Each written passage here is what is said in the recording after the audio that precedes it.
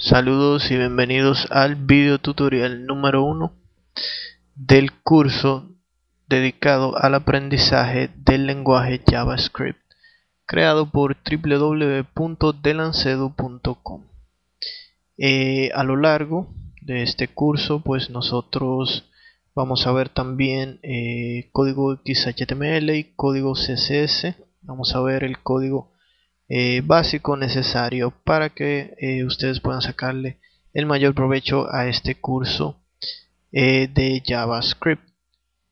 JavaScript pues es un lenguaje creado con la finalidad de crear páginas web dinámicas. Es un lenguaje que ya viene incluido en los navegadores modernos, en los navegadores como Firefox, Google Chrome, eh, Conqueror, Opera, etc. Eh, bien, eh, primero pues vamos a ver lo que es HTML. HTML por sus siglas en inglés, Hypertext Markup Language. lenguaje de marcado de hipertexto. Pues los navegadores pues para presentar su contenido pues utilizan un lenguaje y el lenguaje que utilizan pues es este lenguaje HTML que es un lenguaje de marcado o sea un lenguaje que utiliza etiquetas eh, eh, ¿qué sucede? que cuando eh, a principios cuando se desarrollaban páginas en HTML pues incluían lo que era texto e imágenes pero más adelante pues fueron agregándose información sobre color, tipo de letras, etcétera, etcétera. Eh, y luego con la eh, aparición del lenguaje JavaScript, cuando las páginas pues empezaron a usar lo que eran scripts, eh, pues se creó una mejor forma para utilizar el lenguaje de las páginas web, ya que mantener el formato y la programación en una misma eh, en, un mismo, en una misma página, por así decirlo, pues eh, era muy tedioso su mantenimiento. Bien, luego surgió lo que es eh, XHTML, pues que es un lenguaje, es el mismo Hypertext Markup Language, pero extensible, es extensible, extendido. pues este lenguaje XHTML pues eh, separa lo que es la programación de la página web con lo que es el diseño. Eh, ya que el trabajo de la programación y el diseño de una página web pues se realiza por eh, personas diferentes. Yo puedo ser programador web y puedo ser también diseñador web para la parte de los diseños entonces se utiliza lo que es esto, el CSS, Cascading Style Sheets. Estas son hojas de estilo en cascada, donde se especifica todo lo que es eh, imágenes, tipo de letras, tamaños, estilos, etcétera, etcétera. Y eh, ya el mantenimiento de las páginas web pues es mucho más eh, fácil, mucho más flexible. Eh, las ventajas de XHTML sobre HTML pues es que eh, aquí con XHTML pues eh, está orientado a XML que XML es otro lenguaje de marcado pero donde nosotros mismos creamos nuestras propias etiquetas nuestros nuestras propias reglas nuestros propios atributos etcétera etcétera. Además de que la integración de JavaScript con XHTML y CSS pues es eh, mucho más flexible. Eh, no quiere decir que no obtengamos eh, el mismo resultado con HTML. El mismo resultado que podemos obtener con HTML pues lo podemos también obtener con XHTML. bien, nosotros en este curso pues vamos a ver eh, vamos a trabajar con el lenguaje XHTML y vamos a trabajar con eh, el CSS, los Cascading Style Sheets. Eh, el curso está orientado a JavaScript pero vamos a ver código XHTML y el código CSS necesario para que los seguidores de este curso pues puedan sacarle el mayor provecho al aprendizaje de JavaScript. bien, entonces, ¿qué es JavaScript? Pues JavaScript es un lenguaje que es utilizado por los navegadores. Eh, JavaScript eh, es un lenguaje interpretado, es un lenguaje que no necesita ser compilado para que funcione. Simplemente el navegador lee el código y lo ejecuta. Eh, bien, en cuanto a las herramientas que vamos a utilizar, pues yo tengo aquí eh, lo que es el Notepad++. Este que está aquí es un editor de texto eh, gratuito. Si lo quieren descargar, eh, pueden dirigirse aquí a Google y teclear aquí Notepad++ y se dirigen aquí a Notepad++ Home. Bien, aquí dentro se dirigen aquí a Download y aquí les va a presentar la última versión en diferentes formatos.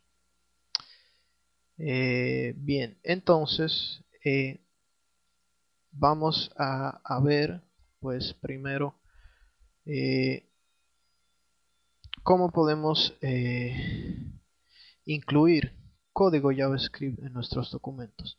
Primero vamos a ver eh, la estructura de un documento HTML básico. Eh, yo tengo aquí la etiqueta HTML, fíjense que está entre eh, el símbolo de mayor y menor y dentro entonces está escrito el nombre de la etiqueta. esta etiqueta HTML pues me representa lo que es el documento completo HTML y dentro de esas dos etiquetas pues yo voy a colocar las demás etiquetas eh, de mi página aquí está por ejemplo la etiqueta head la cabecera que esta etiqueta pues aquí eh, yo introduzco lo que es eh, información sobre mi página el título de mi página pues este es, esta etiqueta aquí title por ejemplo si aquí yo le coloco un título, por ejemplo, especificaciones. Hago clic en guardar y refresco mi navegador. Fíjense que en esta parte de aquí él me presenta el título.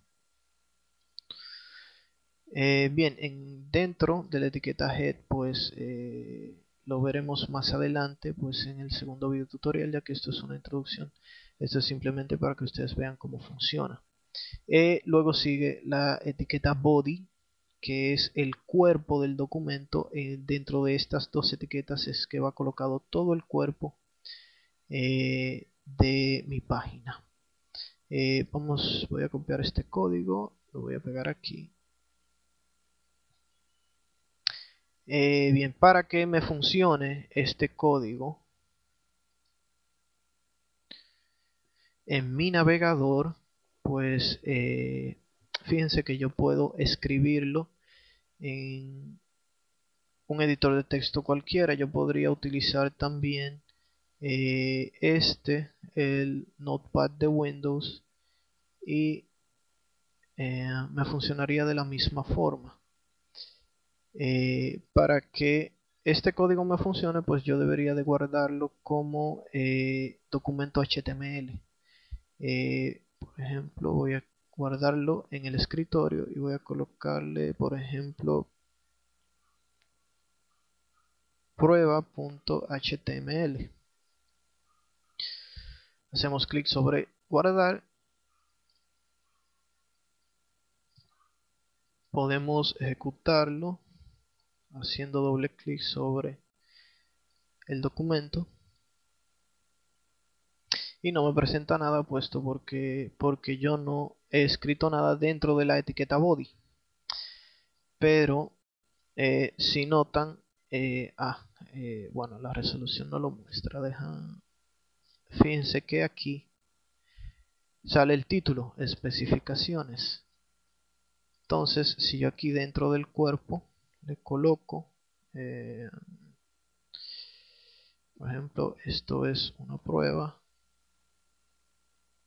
y encierro mi etiqueta esta etiqueta P pues me representa un párrafo eh, esto lo iremos viendo las diferentes etiquetas HTML eh, las iremos viendo a lo largo del curso. Eh, bien guardamos vamos a refrescar esto aquí y fíjense donde me sale esto es una prueba. Bien de esta forma es que funcionan los navegadores pues cada etiqueta eh, tiene una funcionalidad diferente y yo utilizaré eh, pues las etiquetas que yo vaya necesitando. Eh, para incluir entonces código JavaScript dentro de mi página JavaScript pues fue creado con la finalidad de crear páginas web dinámicas para yo incluir por ejemplo código JavaScript. Yo puedo hacerlo de varias formas. Primero yo puedo utilizar una etiqueta llamada script script con su respectivo cierre. Las etiquetas eh, fíjense que se cierran con una barra y luego el nombre de la etiqueta. Y dentro de esta etiqueta pues yo escribo mi código JavaScript. Vamos a eh, colocar aquí la salida de un mensaje.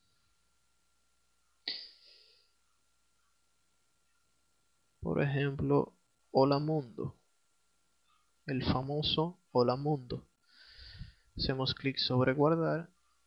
Refrescamos el navegador y fíjense donde me sale el mensaje aquí hola mundo. Eh, bien, la etiqueta script pues es de suma importancia que le coloquemos eh, un atributo, un atributo llamado type, eh, donde deberemos especificarle que es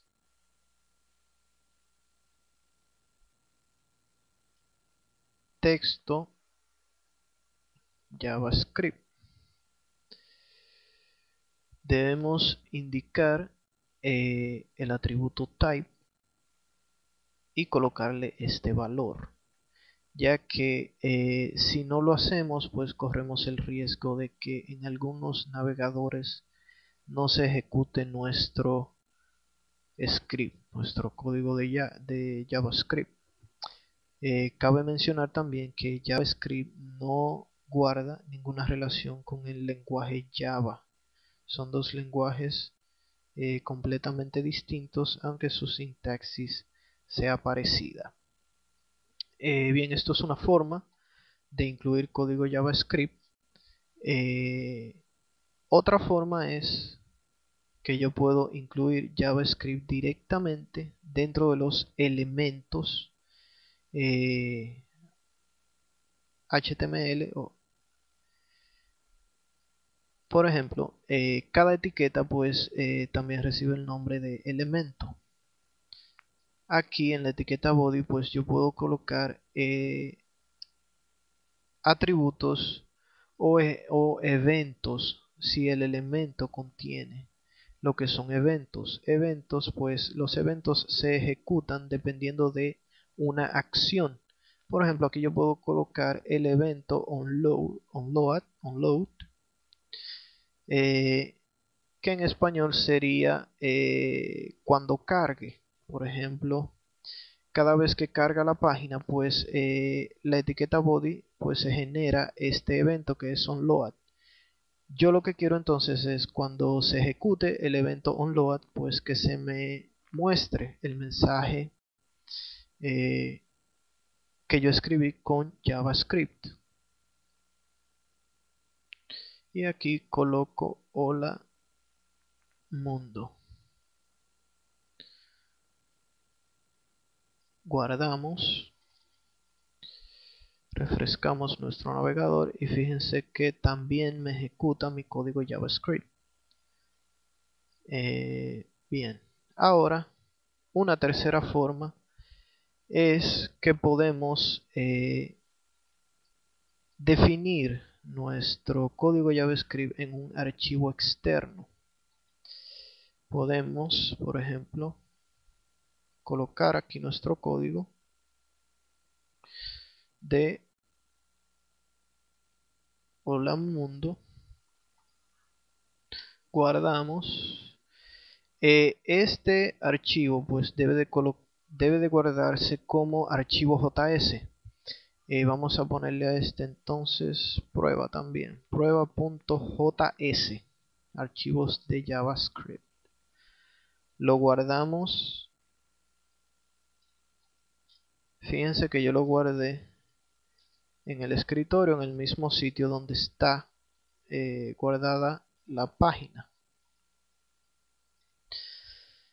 Lo que hacemos aquí es entonces dentro de la etiqueta head colocar una etiqueta eh, script también.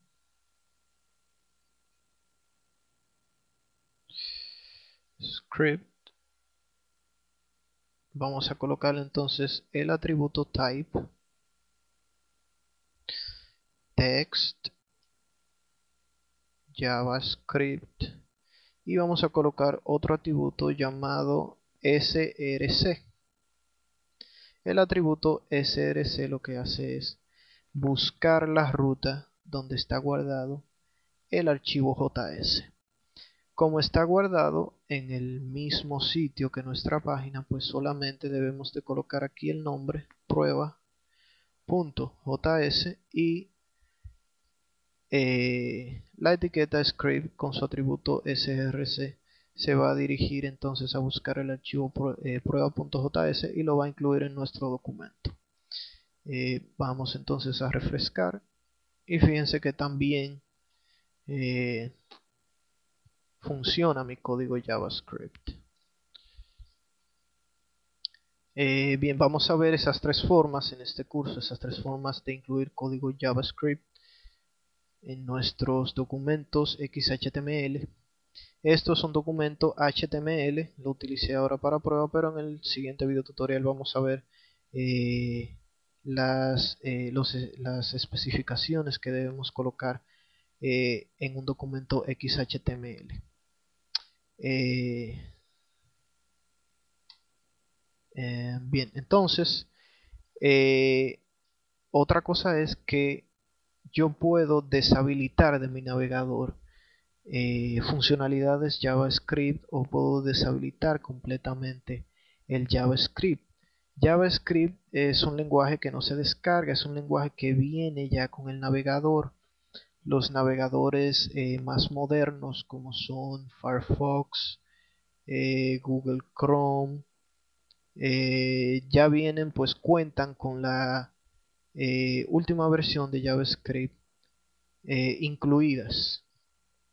este lenguaje bueno viene incluido en el navegador. hay navegadores entonces pues que no poseen soporte para JavaScript o eh, hay usuarios que deshabilitan eh, el JavaScript porque creen que de esta forma eh, pueden navegar de forma segura. existe una, etiqueta llamada NoScript. Esta etiqueta lo que hace es que cuando el usuario, cuando el navegador pues no tiene soporte para JavaScript o está deshabilitado por el usuario, y nuestra aplicación para su correcto funcionamiento necesita que JavaScript esté habilitado, pues la etiqueta NoScript eh, me permite mostrarle al usuario un mensaje eh, diciéndole que necesita habilitar eh, código JavaScript, el JavaScript, el soporte de JavaScript en el navegador. Eh, aquí dentro de la etiqueta NoScript pues podemos colocar eh, cualquier elemento XHTML que queramos colocar.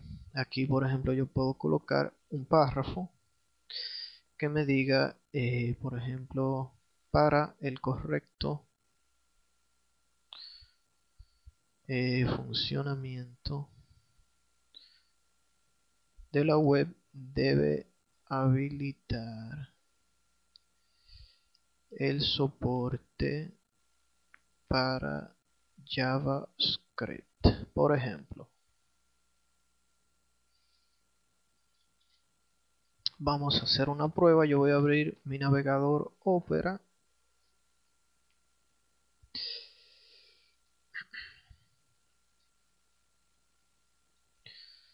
Em,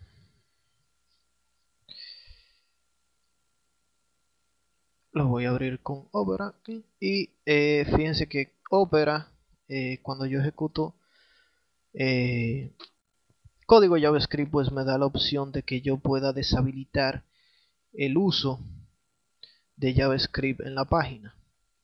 Vamos a utilicé Opera porque me lo ofrece me ofrece deshabilitar la ejecución de scripts de forma fácil sin entrar a la configuración del navegador para deshabilitarlo entonces eh, lo voy a parar, le doy OK y fíjense que la etiqueta NoScript ahora me presenta este mensaje.